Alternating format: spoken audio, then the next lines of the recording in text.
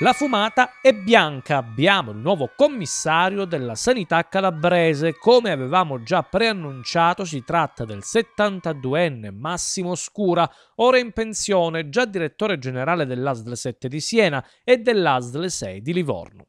Infine, per 12 anni è stato direttore generale dell'azienda municipalizzata dei servizi della città di Terni. Si occupava della gestione di energia, acqua e successivamente di rifiuti solidi urbani. Dalla gestione dei rifiuti alla gestione della sanità la differenza è enorme, ma ce la farà alla sua veneranda età a dirigere la complessa e disastrosa sanità calabrese? Lo speriamo. Lui, che è originario di Gallarate in provincia di Varese e quindi nordico, sa in che condizioni versano i nostri ospedali? Certamente non li conosce, non ha mai avuto il piacere di essere ricoverato qui, in Calabria.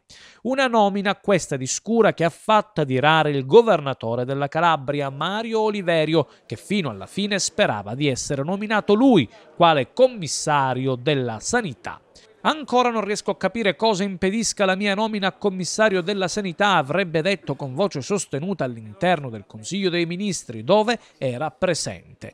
In questi giorni nessuno mi ha chiamato per confrontarsi con me. Sono il presidente della regione con un mandato diretto dai calabresi e mi avete lasciato solo per mesi davanti a problemi gravi per la Calabria. Ha gridato al CDM e qualcuno dei ministri presenti avrebbe detto questa non è la sede del partito. Oliverio ha ripercorso la vicenda evidenziando le inadempienze perché doveva essere nominato la vigilia di Natale e poi trascinata fino al 2015 per impedire la nomina quando, secondo il patto della salute, le sarebbe stata preclusa dalla legge.